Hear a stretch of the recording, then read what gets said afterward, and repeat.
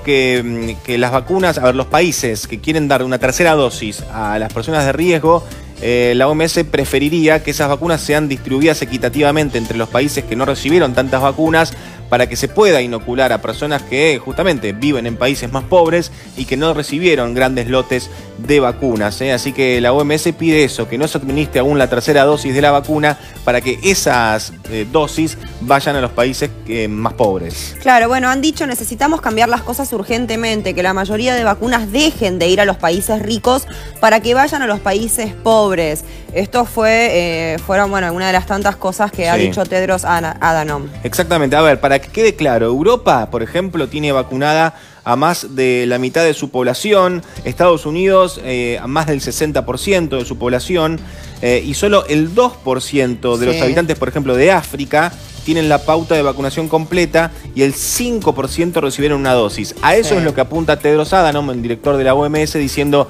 eh, esperemos para la tercera dosis, así esas vacunas se pueden distribuir en países que todavía tienen a muy poco porcentaje de su población vacunada.